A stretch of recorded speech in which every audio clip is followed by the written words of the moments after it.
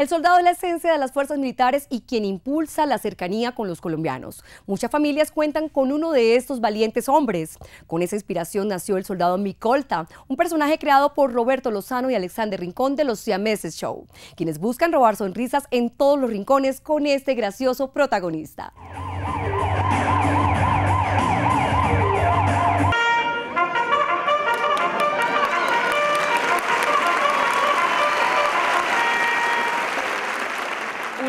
Carcajadas, así se llamó la presentación del soldado Micolta en el Teatro Galería Cafán de Bellas Artes, donde con aplausos fue recibido por los integrantes de las fuerzas militares y sus familias.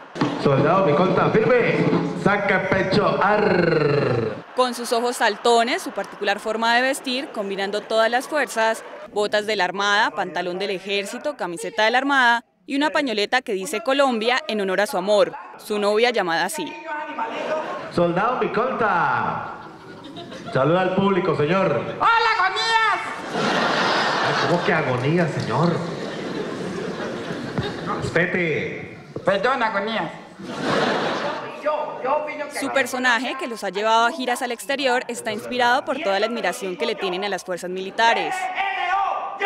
Su valor, su entereza, su fuerza, su coraje, todos son los héroes de Colombia y, y por eso decidimos hacer estos personajes, porque sabemos que en cada casa hay un soldado y, y, les tenemos un respeto muy grande. Son nuestros héroes, son las personas que arriesgan su vida por nosotros y para ellos toda mi admiración y todo mi respeto. He dicho que usted es un soldado muy dinámico. Su sonrisa, su voz aguda y sus gestos cuando descansan han hecho de su personaje un gracioso soldado que inspira con sus bromas algunas penitencias. Cangrejos. Ay, pero... 22 cangrejos, rápido.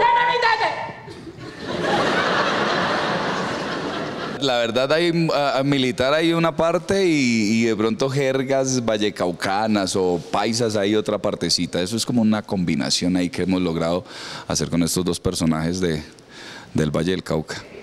Representando todo lo opuesto a un soldado indisciplinado, desobediente e incluso en ocasiones irrespetuoso con sus superiores, siempre busca brindar alegría en cada uno de sus shows.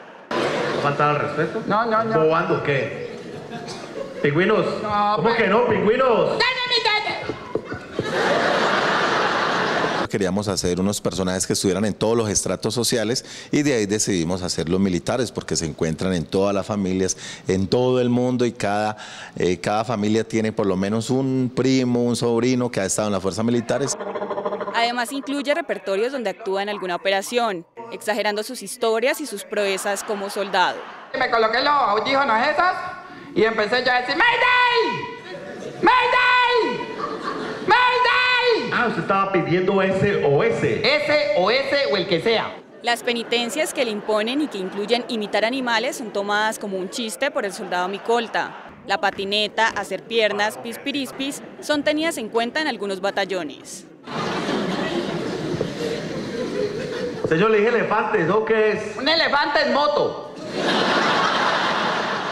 Hemos ido a varios batallones y ver a los soldados haciendo pingüinos o cangrejos muy chistosos, muy cómico. El soldado Micolta también tiene su lado emocional y algunas ocurrencias por las que le toca voltear. Ese man se me vino bravo y yo lo cogí con el machete y ¡fua! le moché una oreja. Se enojó. Y he hecho para atrás y se me volvió a venir bravo y lo cogí, ¡fua! le moché la otra oreja y ahí sí lo dejé totalmente ciego. Micolta, si le mochó las orejas, ¿cómo le iba a dejar ciego? Pues porque le resbalaban las gafas. Ay, eso es una agonía. Cuando me pone a hacer ejercicios, no, pero es, es un grupo excelente. La verdad, mantenemos muy contentos con este trabajo que Dios nos ha regalado. Este palmireño de nacimiento le saca así sonrisas a más de uno. Muy bien, soldado. Así es que es. Pero, pero es que después paso tranquila y me pringo en esta piernita de acá. ¿Cómo nada usted? Listo, De algo le sirve el entrenamiento. Sí, pero después paso tranquila y me pringo en el bracito también. ¿Cómo nada usted? Muy bien, como todo un soldado del ejército. No, pero es que después paso tranquila y también me pringo en la otra piel. Venga, entonces, ¿cómo hizo? Pues donde no sea hombre me ahogo. De los militares se la gozan cuando nos ven haciendo ejercicios más, hasta hay oficiales que cogen los ejercicios para repetírselo a sus soldados. Venga, Aunque el ¿usted teniente Rincón, su compañero de tarima, al que conoce desde el colegio, lo castiga muchas veces, sabe que debe velar por el bienestar de su soldado. ¿Cómo le parece? Que a 10 kilómetros del batallón montaron un fufurufiadero de fufurufas. Me parece muy mal. Y pues para informarle que yo ya recogí como 5 mil firmas con todos los soldados, compañeros. Eso me parece muy bien. Recogió las firmas para que quitemos eso allá. Sí, señor, y lo pongamos más cerquita. Eso está lejos.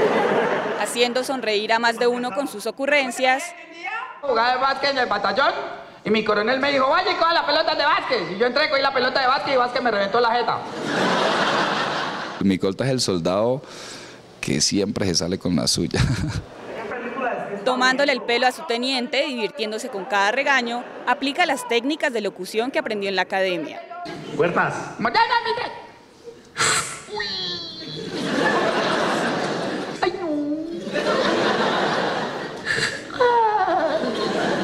Vea, ¿y esa puerta qué? Pues esa puerta de trabo. Está traba. Este personaje emplea lo aprendido en lo que considera su argot militar, aunque un poco distorsionado. ¿cómo se dice? Sí, señor, en inglés. Yes, sir. Bien, en alemán. Ah, sir. Bien, en francés. Oui, merci. Bien, eso lo aprendió en las fuerzas militares. Sí, parce. Llevando un poquito de alegría, el soldado Micolta, disciplinado en su humor, logra robar sonrisas y ganarse, al igual que los valientes soldados, el corazón de todos los colombianos. Uno, One, dos, two, y 2222. two, two, two, two, two, two.